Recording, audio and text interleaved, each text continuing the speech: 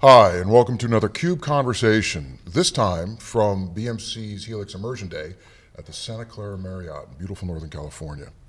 We're going to be spending the entire day having a series of discussions about what it means to do a better job of both digital services management and operations management, and how those technologies are coming together to dramatically alter how business operates, how customers get value, and ultimately how profits are generated. We're going to start this conversation with a CDO, a Chief Digital Officer from Genpact, Sanjay Srivastava.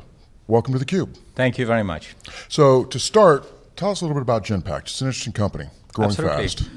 We are indeed. Uh, Genpact is a large global professional services provider for digital transformation services. We serve many of the Fortune 500 companies around the world. And we help them think through their business processes and their business models and digitally transform that to take advantage of so all of the new capabilities that are coming through. So digital service outcomes is a very important feature of that because I presume that when you have those conversations with customers, you're talking about the outcomes that they're trying to achieve Yep. and not just the services that you're going to provide. That's right. So tell us a little bit about what is a digital service outcome and why is it so important? Yeah. Well, I think the reality is that what technology is doing is it's disintermediating the ecosystem so many of the industries our clients operate in. And they have to go back and reimagine their value proposition at the core of what they do with the use of new innovative technologies. And it's that intersection of new capabilities, of new innovative business models that really use emerging technologies but intersect them with their business models, with their business processes, and the requirements of their clients, and help them rethink, reimagine, and deliver the new value proposition. That's really what it's all about. So a digital service outcome would then be the things that the business must do and must do well, but ideally with a different experience or with a different degree of flexibility and agility or with a different cost profile. Have I got that right? Correct. So when we think about that, what are some of the key elements of a digital service success? We like to think about three um, critical success factors in driving any digital transformation. Uh, the first one is the notion of experience. And what I mean by that is not user interface for a piece of software, but the journey of a customer, an employee, a provider, a partner in engaging with you and your business model. When we think about journey mapping that scientifically, we think about design thinking on the back of that, and we think about reimagining what the new experience looks like. One of the largest things we've learned in the industry is digital transformation on the back of cost takeout or productivity or efficiency is, is, is insufficient to drive and optimize the value that digital can bring. And using experience as the compass, as sort of the North Star in that journey, is a meaningful differentiator and driver of business benefit. So that's number one. I think the second area that's become increasingly apparent is the intersection of domain with digital. And the thinking there is that to materialize the benefit of digital in an enterprise, you have to intersect it with the specifics of that business, how users interact, what clients seek, um, how does business actually happen. You know, we talk about artificial intelligence a lot. We do a lot of work in AI as an example. And the key thing about machine learning is goal orientation. And what is goal orientation? It's about understanding the specifics of the environments. You can actually orient the goal of the machine learning algorithm to deliver higher, high accuracy results. And it's something that can often easily get overlooked. So indexing on the two halves of the whole, the yin and the yang, the, the, the, the piece around digital and the innovative technologies and being able to leverage and take advantage of them, but equally be founded in domain, understand the environment, and use that knowledge to drive the right materialization of the end outcome. And that's the second um, critical success factor, I think, to get it right. I think the third one is the notion of how do you build a framework for innovation? You know, it's not the sort of thing where large Fortune company, 100, 500, Fortune 500 companies can necessarily experiment and, you know, it's a little bit of a go happy, go lucky strategy. It doesn't really work. You have to innovate at scale. You have to do it in a fundamental fashion. You have to do it as a critical success factor.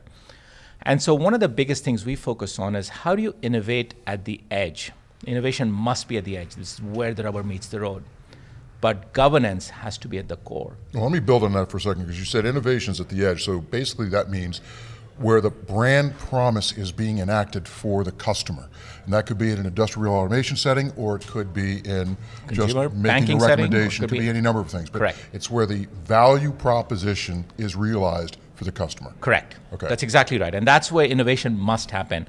So, as a large corporation, you must be, you know, it's important to set up a framework that allows you to do innovation at the edge. Otherwise, it's not meaningful innovation, if you will. It's just a lot of busy work. And yet, as you do that, and as you change your business model, as you bring new components to the equation, how do you drive governance? And it's increasingly becoming more important. You think about we're going to be in an AI first world increasingly. More and more, that's the reality of the world we're going in. And in that AI first world, you know, I, I, uh, I work here in Palo Alto, I work in my office, a couple of hundred people in any given day. If tomorrow morning I walked in and 100 people didn't show up for work, I would know right away because I can see them.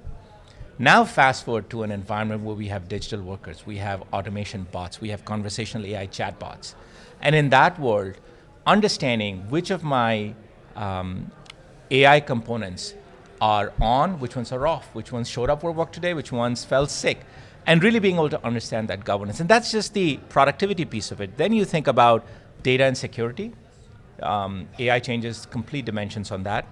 And you think about bias and explainability, which has become increasingly important, and the notion of a digital ethics board and thinking about ethics more pervasively.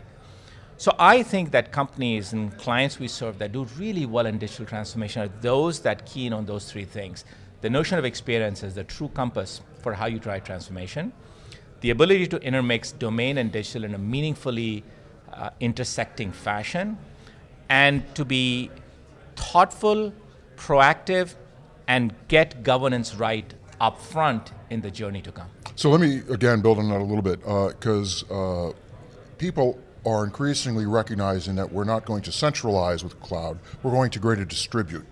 We're going to distribute data more. We're going to distribute function more. But you just added another dimension that uh, some some of us have been thinking about for a long time, and that's this notion of distributing authorities. Yep. So that an individual at the edge can make the decision based on the data and the resources that are available with the appropriate set of authorities, and that has to be handled at a central, in a, in a, in a overall coherent, governed way. So that leads to the next question. And just before you go there, I mean, I think the best example of that is we do that, most corporations do that really well in the financial scheme of things.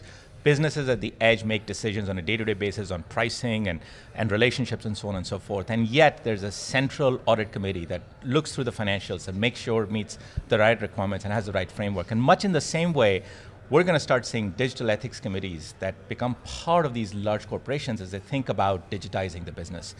Governance at the end of the day is how do you how do you orchestrate multiple divergent claims against a common set of assets? And and being able to do that is absolutely essential. And it leads to this notion of we've got this these ideas of digital business digital services and operations management how are we going to weave them together utilizing some of these new technologies new fabrics that are now possible to both achieve the outcomes we're talking about at scale and at speed?